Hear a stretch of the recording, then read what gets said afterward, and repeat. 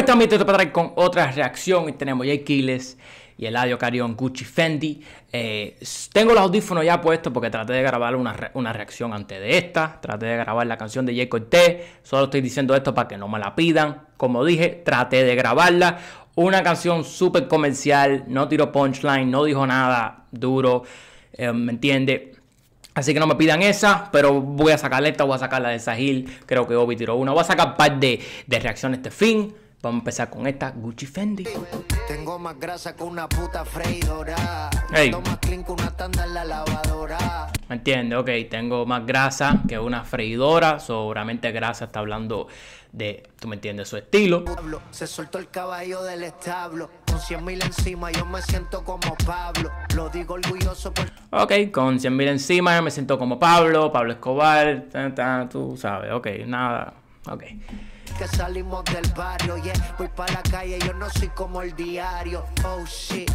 Voy para la calle, yo no soy como el diario. Obviamente está hablando del diario de Didi, que no, no sale, no salió. Eso, eh, sí sale, tú me entiendes, el diario no salió. ahora son modelo París. No me gusta si no son overseas. A veces algo. No, entre que entre lado, yo no me gusta si no son overseas, o sea, si no son extranjeras, si no son de, de Europa.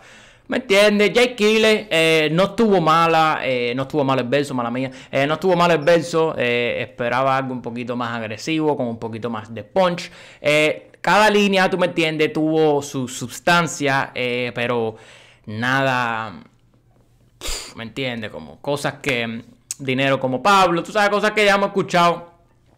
Eh, vamos para allá. Mala mía, si tú eres fan de Yekile y si eres nuevo aquí en este canal, cabrón, yo soy bien real. Eh, eh, o sea, si estás viendo esto en YouTube es porque me gustó el resto de la canción, porque si yo veo que, o sea, estoy hablando mierda de la canción entera, simplemente no pongo el video como, como pasó con la canción de Jay Cortez.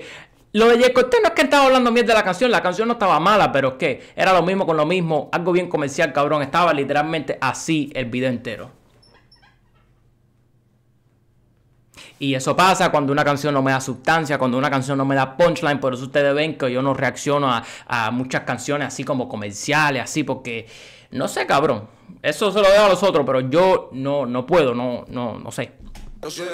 Vamos, dame algo, dame algo.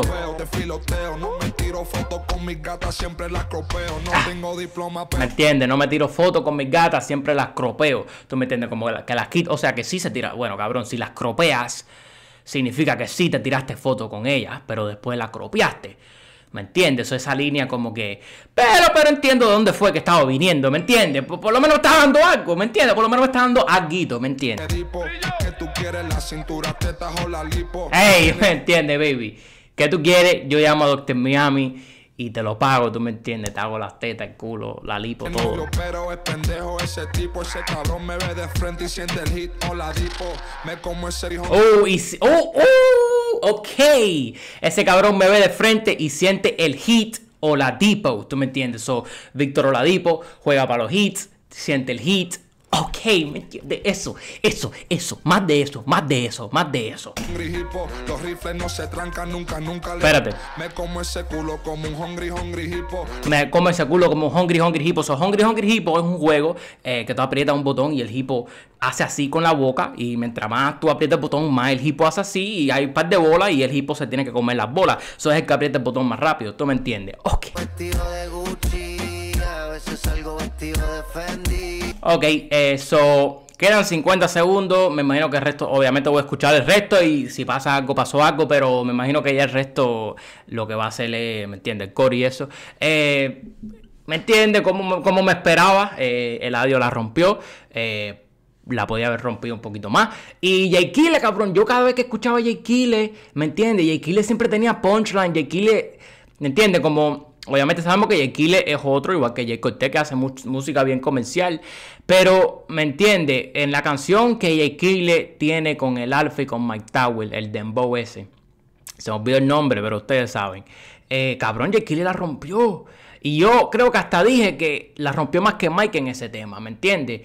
Eh, Coronado, ¿era Coronado? No, no era Coronado. No sé, no sé, pero era un dembow del Alfa que estaba Jay y Tower. Y, y, y me entiende, Y me sorprendió y cada vez que escuchaba a Killer, yo, ah, le mete, le mete. No, no hizo nada malo aquí, ¿me entiendes? No, no es que beso estuvo malo, pero simplemente, eh, no sé, cabrón, yo tengo una enfermedad.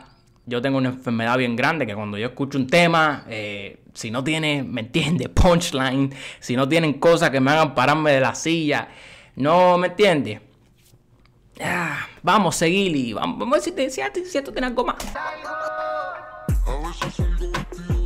Ok, ahí lo tienen mi gente. Si les gustó la reacción, denle like, comenten, suscríbanse al canal. Como le dije, seguro una reacción bien corta. Eh, porque, me entiende, no, no tuve mucho de qué hablar. Eh, voy a hacer la de Sahil, tú me entiendes. yo sé que Sahil sí, eh, tú sabes. Así que después de este video, esperen la, la de Sahil. Seguro las pongo las dos el mismo día. Mi gente, si les gustó el video, no se olviden darle like, comentar, suscribirse al canal. Los quiero mucho, mi gente. Nos vemos.